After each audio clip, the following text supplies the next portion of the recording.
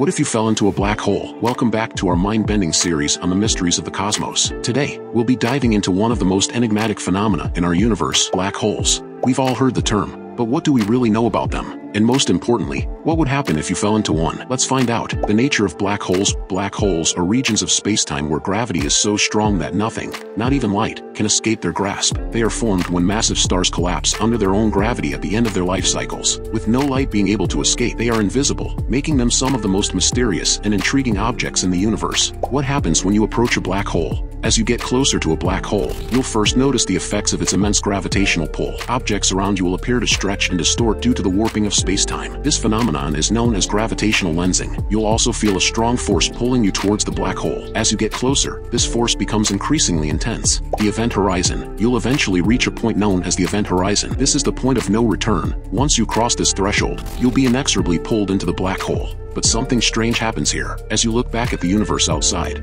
you'll see time itself appear to speed up. This is due to the immense gravitational pull of the black hole, which warps not only space but also time the spaghettification process. As you continue your journey into the black hole, you'll experience a process called spaghettification. The gravitational force at your feet will be much stronger than at your head. This difference will stretch you out, making you resemble a long strand of spaghetti. But don't worry, the journey will be over before you know it. Inside the black hole.